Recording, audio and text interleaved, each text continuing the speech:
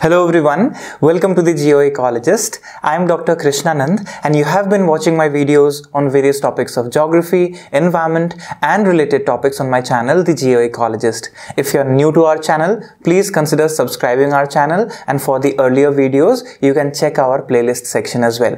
And also for our paid courses, either you can download our app from the Play Store that is by the same name, the Geoecologist and look for the courses that we offer online or also you can go directly to our website thegeoecologist.com and you can check for yourself. All the details are available there. Now in today's session on political geography we are going to discuss about very interesting concept of these classifications of the boundaries of different types in the world. So there are few scholars who gave different kinds of concepts and classifications two of them are very prominent. One is called genetic classification of the boundary and one is called the morphological classification of the boundary. So in this session session we are going to discuss both of them. So don't go anywhere. Watch the video till the end to learn these two particular topics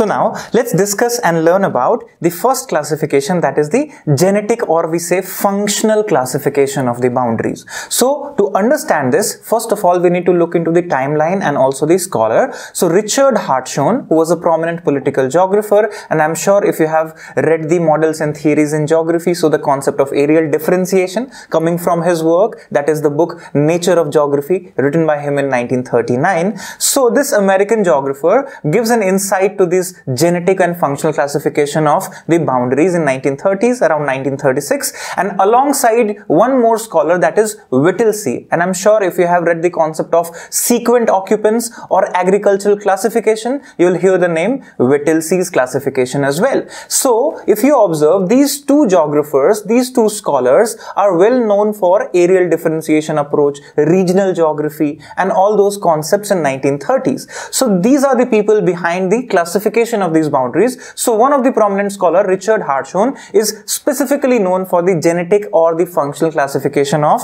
our political boundaries. So let's look into this. What does it say? So if you observe, the political boundaries are based on the relationship that a boundary line had shared with the surrounding cultural landscape at the time of its demarcation. So while it is being demarcated, what is the relationship between the two sides which is where the boundary is being created in between. So this is very important to understand. So here comes the picture that it is derived from the basic physical geography of the area. Now this idea of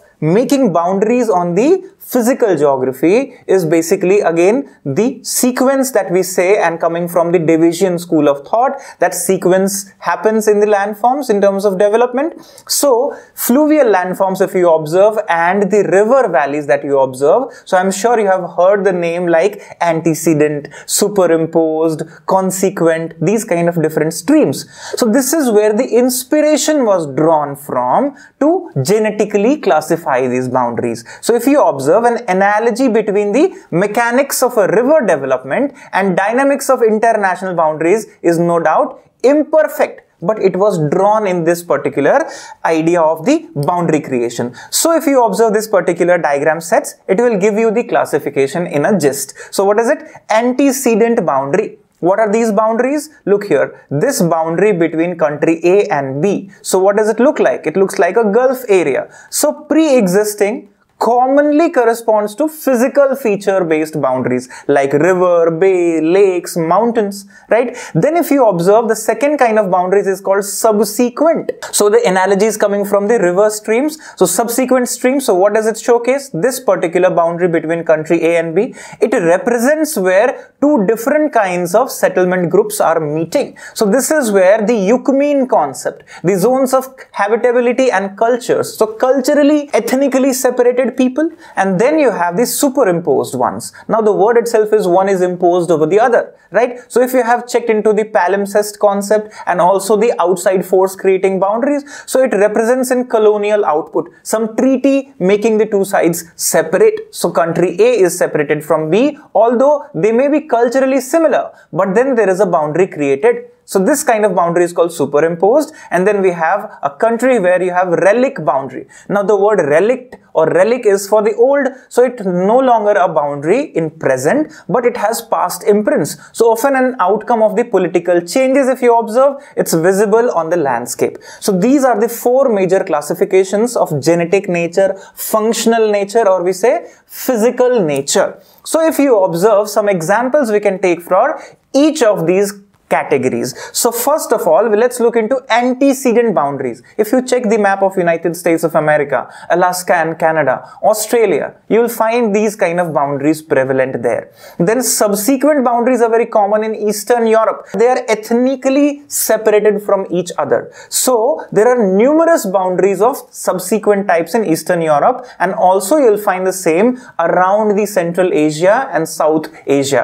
Then you will find superimposed boundaries countries where in Africa, in India and Pakistan border, we'll find India and Bangladesh border, where an outside force in the beginning and then later on it was divided by a treaty. So this is called superimposition. And then you'll find the relic or relict boundaries. And one best example we can give is Berlin Wall, built in 1961, right, in the East Germany. So this is something which was very interesting concept, right? So this is your genetic classification of these boundaries. So we can give some more examples from the world here here and genetic political boundary types if you observe. So let's look into the antecedent type an example. So Malaysia and Indonesia. Now look at this particular Borneo. So you observe this Brunei here and then you have the Borneo here and this is separated out here. So you have the highlands separating it from Indonesia. Then what you observe is subsequent one. Now subsequent one if you see China and Vietnam. Now there is a similarity in culture on both the sides but ethnically they are separate entities and they have been created like this particular but they have this relationship going on and then what you have is the superimposed boundary. So this is the straight line that you see here particularly. So this is Indonesia and this is Papua New Guinea right? So if you observe this kind of boundary is created by a treaty between the two and then you have the Laos and Vietnam. So here Laos and Vietnam have an overlapping boundary area, right? Which was very clearly during the Cold War and also Vietnam War very popular. But now what you see is just the imprint here. So it's like a relict boundary. Some of these examples exist in the world that we observe. Now, some of the ethnic groups in Southwest Asia, if you check, so in Southwest Asia and Central Asia, you'll find these many ethnic groups. Azeri, Baluchi, Hazara, Kurd, Pashtun, Persian, Punjabis, then you have Shiite Arab, Sindhi, Sunni Arab, Tajiks, Turkmen, Uzbek. These are different ethnic groups. And these ethnic groups have different sets of boundaries as you can see see in the colors here. So these represent the subsequent type of boundaries right? Then further let's look into the division of cyprus. What does it represent? So cyprus will give you an example of the treaties. Look here. British military bases then given to the turks and greeks. So it's clearly showing there is a buffer zone in between here. This buffer zone like a no man's land is controlled by un and then you have the northern part which is turkish and southern part which is Greek area and then you have certain military bases here. So this is Cyprus here in Mediterranean Sea if you observe here. So these kind of examples are there of different kinds of boundaries. You can say functional classification or genetic classification of the boundaries. Now let's go ahead and look into the morphological classification of these boundaries. So morphological, the word itself is morph, basically is shape. So shape and pattern on the physical landscape. So these these boundaries follow natural feature. Now in genetic classification, this is largely an antecedent type. So when you look into antecedent type, natural features are the major boundary, natural landscape. So for example, a river could be there, a mountain could be there. So what we have is a classification of it. And many times the thing is that it's also called artificial boundaries, one which is not natural.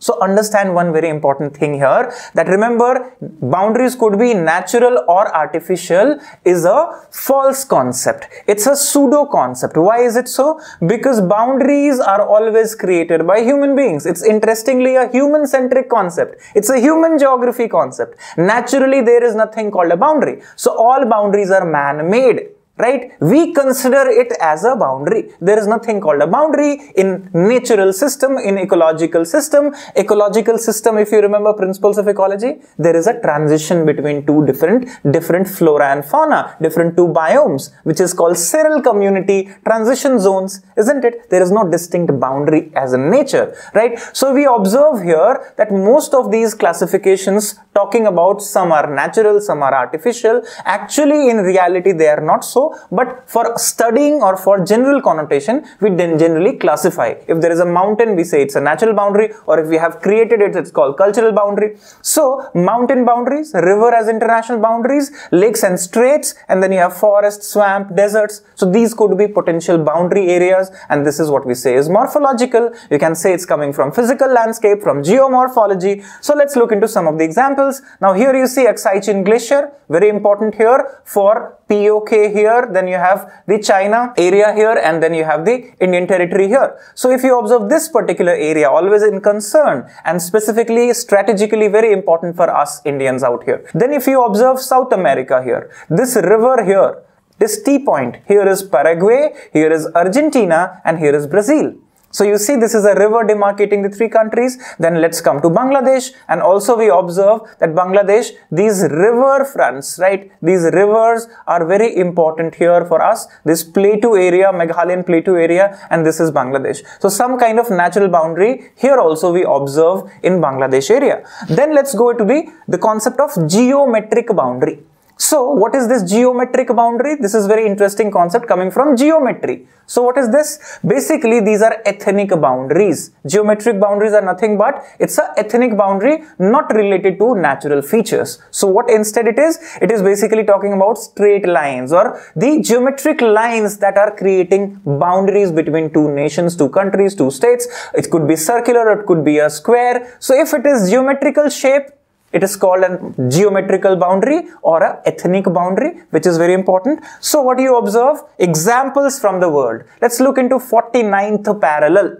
Now look it is, where is 49th parallel? This is 49th parallel between Canada and US. So what is this? Why is it important? So in 1818, the United States and UK, then including Dominion of Canada, reached an agreement known as the Convention of 1818. And where, what happened? Look into this. Some territories were claimed by US and Britain, right? If you see Oregon, and then you'll have here this particular British territory as well right so this is that demarcates this separation so as a part of agreement both countries agreed to establish 49th parallel as the boundary between their respective territories so this is what this is a straight line virtually a straight line because we say it's a latitude right? That's why it is a geometrical line. Then further if you observe Papua New Guinea, this example, this straight line that you see, it's geometrical feature, isn't it? So if you observe the eastern border with Indonesia is a straight line because the island was invaded by Indonesia in 1962. Since then this boundary was agreed upon by a treaty.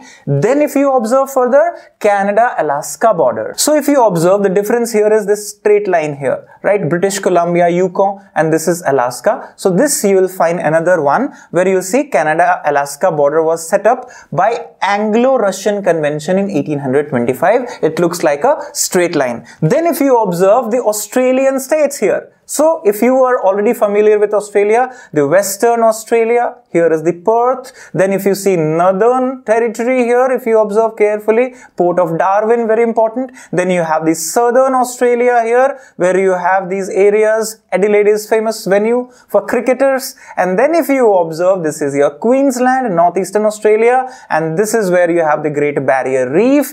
And then this is your Queensland. This is the northeastern portion here. You have Brisbane, you have Rockhampton, you have Townsville and several others. Then you see this New South Wales here right? So New South Wales where you have the Canberra, the Australian capital as well. You have Sydney on this coast and then you have Victoria. But what you observe is this clear cut straight lines. So this is where you have the straight lines prominently into these particular squares, right? So this is what we say is the classification which looks like a geometrical shape of the boundary. So these are the geometrical boundaries that we observe. What is this Aouzou Strip? It's a land between Libya, Chad and Niger. So what you observe here, this this particular strip is also like a straight land here, right? It's in between these countries. It's a inland territory kind of situation where you have a geometric boundary. And there are several other examples of these straight line boundaries, geometric boundaries, which you can yourself look into the World Atlas and practice for yourselves.